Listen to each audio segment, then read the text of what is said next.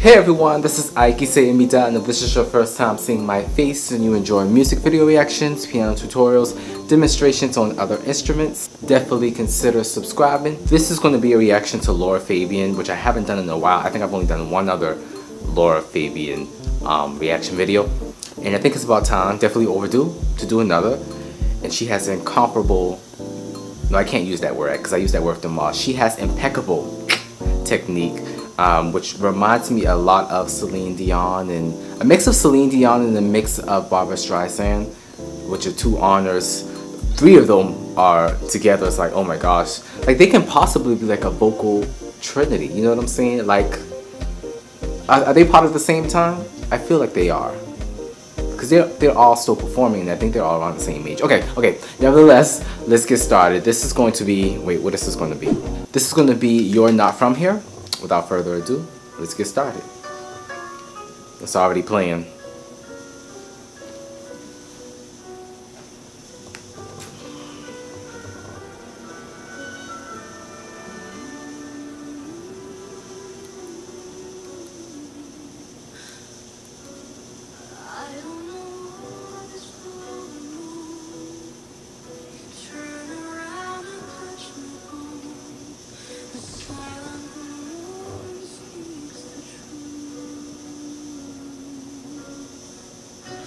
Very somber tone.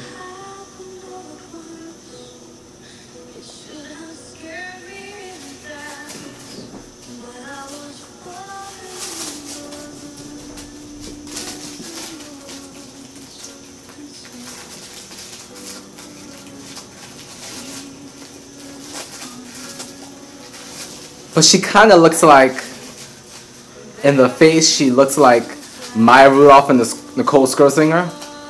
Let me stop because I know a lot of people hate when I compare their faves to people that I, I'm aware of and know.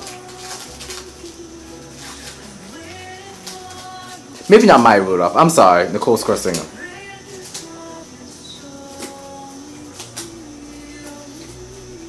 Ooh. Y'all heard that movement there?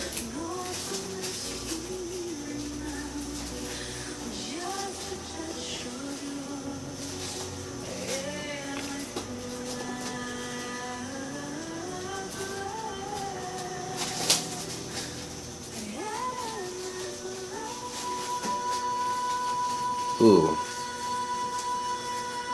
Como crescendo.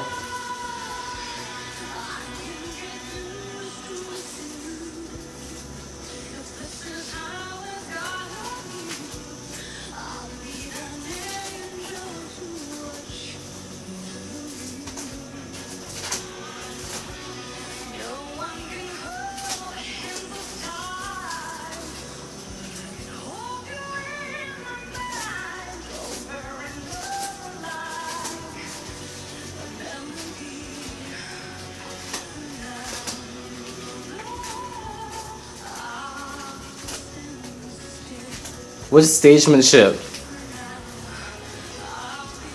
Like she's so gone, but she's still present.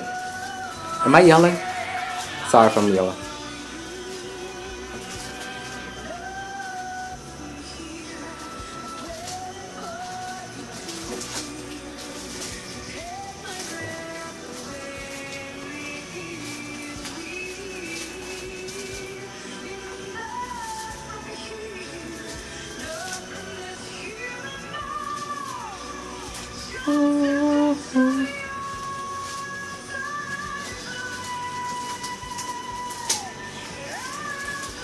She's wide open.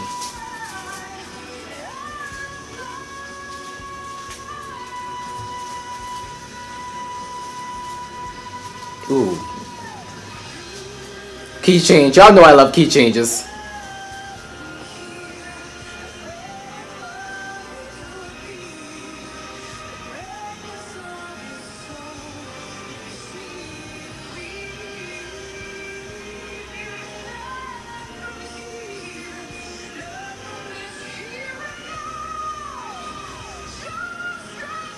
It's a nice. It's,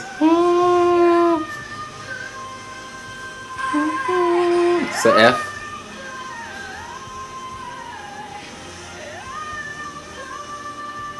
If she's saying and now fly.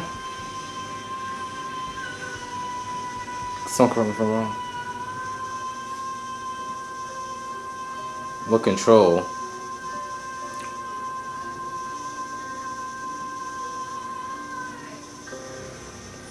Yes. Mmm. What a voice. You guys are really getting me hip to some serious vocalists. Oh my gosh.